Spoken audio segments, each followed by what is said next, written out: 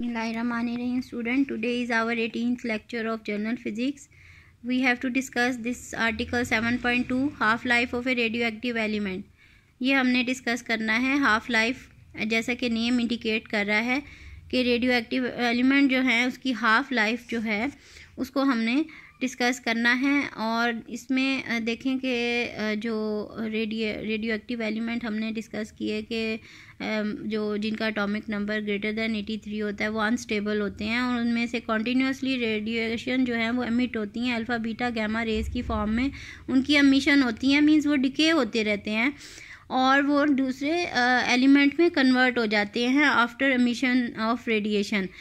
और ये हमारे पास radioactive element naturally occurring हैं। ये रेडियो एक्टिव एलिमेंट जो हैं, ये बाय नेचर जो हैं, ये मौजूद हैं और यूरेनियम उसकी एग्जांपल है मेन और इसमें देखेंगे जो रेडियो एक्टिव एलिमेंट है अल्फ़ा बीटा गैमा रेज जो हैं, जब ये डिके होंगे रेडियो एक्टिव एलिमेंट तो डिके होने के बाद जो एलिमेंट बनेगा, उसको हम डॉटर एलिमेंट का नाम देंगे। और जो ओरिजिनल एलिमेंट था बिफोर डिकेइंग उसको हम पेरेंट एलिमेंट का नाम देंगे। क्योंकि डिके होने के बाद उसका चार्ज और मैस नंबर जो है, उसके अंदर डिफरेंस आ जाता है। और फिर इसके वो एलिमेंट जो है, वो नहीं रहता। वो दूसरे एलिमेंट में कन्वर्ट हो जाता है after decaying so this parent element and daughter element uh, student that uh, is very important uh, so you have to learn it uh, that uh, is important for your mcqs aapko पूछे पूछा जा सकता है what is parent and daughter element अब देखेंगे radioactive decay या disintegration जो है, ये रैंडम प्रोसेस है, ठीक है?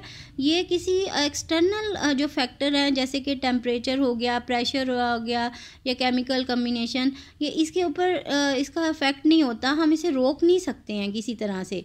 ठीक है? ये नेचुरली है और ये इसने होना ही है डिसइंटीग्रेट अगर जो रेडियो एक्टिव एलिमेंट है, जो कि रेडिएशन जिनकी एमिशन हो रही है जिसमें से तो ये रैंडमली इसके अंदर एमिशन हो रही है। हम इसको एक्सटर्नली जो है किसी तरह से इसको रोक नहीं सकते हैं, ठीक है? लेकिन ये जो है हमारे पास इंटायरली डिपेंड कर रहा है लॉ ऑफ़ चांस पे, ठीक है?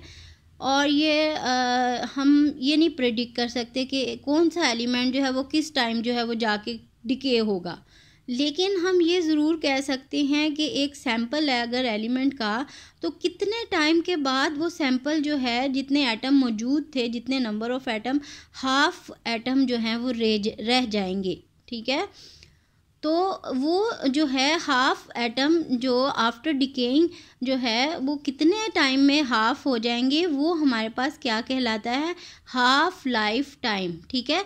Half life time of a radioactive element हम पर्टिकुलर एटम के बारे में तो नहीं प्रिडिक्ट कर सकते कि ये एटम जो है अब इस टाइम जाके जो है वो डिके हो गया। लेकिन जो रेट ऑफ़ डिके है, वो सब एलिमेंट्स के लिए सेम है। अगर एक लार्ज नंबर ऑफ़ एटम का सैंपल है तो हमारे पास वो क्या होगा? एक ही तरह से वो डिके होंगे। डिफरेंट एलिमेंट जो हैं, वो डिफरेंट रेट से डिके होंगे। उनका रेट डिफरेंट होगा। टाइम जो है वो डिफरेंट होगा डिके करने का, लेकिन जो उनका है सेंस ऑफ़ डिके जो है वो हमारे पास या उसकी जो है एक सेम जो है जनरल पैटर्न जो है उसके ऊपर वो डिके होंगे रेडियो एक्टिव एलिमेंट सारे के सारे, ठीक है? तो इसकी डेफिनेशन देखें रेडियो एक्टिव जो हाफ़ लाइफ टाइम जो है हमारे पास, इसकी डेफिनेशन है the time taken by one half of the total number of the atom present in a parent element to decay into the atom of the daughter element is called half life of that parent element. Student that is very important uh, definition.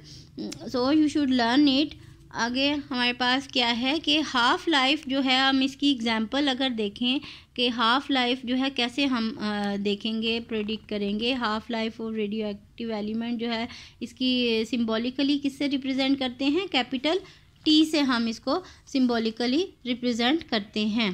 ठीक है? और इसके साथ छोटा सा abbreviation one by two half यानी कि हम वो भी लगाते हैं तो ये टी हाफ़ हो जाएगा that is half life time अब इसकी एग्जांपल देखें कि हमारे पास अगर वन लैख जो हैं, वो एटम्स मौजूद हैं रेडियो एक्टिव एलिमेंट ठीक है?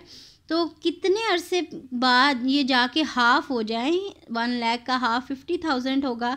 For example one week after one week जो है, वो वन लैख के हाफ़ हो गए फिफ्टी थाउज़ेंड हो गए, ठीक है? और उसके बाद नेक्स्ट वीक जो है ये T first half life time हो गया। फिर नेक्स्ट वीक में जो है वो फिफ्टी का हाफ़ ट्वेंटी फाइव थाउज़ेंड रह गया। तो वो हमारे पास सेकेंड हाफ़ लाइफ टाइम आ गया। इसी तरह से जो बाकी रह जाने वाली एलिमेंट हैं वो हमारे पास ट्वेंटी फाइव थाउज़ेंड का हाफ़ जो होगा twelve thousand five hundred atom जो हैं, वो हमारे पास रह जाएँगे नेक्स्ट जो थर्ड वीक होगा। ठीक है? इसी तरह से हमारे पास हाफ़ लाइफ टाइम पीरियड आते जाएगा और एटम्स जो हैं कॉन्टीन्यूसली जो हैं, वो हाफ़ रहते चले जाएँगे। ठीक है? लेकिन हम ये नहीं कह सकते कि सारे के सारे एलिमेंट जो हैं वो कब तक ख़त्म हो जाएँगे। जो सैंपल हमारे पास मौजूद है टोटल नंबर ऑफ़ एटम्स का, वो कब तक सारा जो है वो ज़ीरो हो जाएगा, ये हम नहीं कह सकते। ये हम प्रिडिक्ट नहीं कर सकते। हम सिर्फ़ हाफ़ लाइफ टाइम जो है वो हम उसका बता सकते हैं।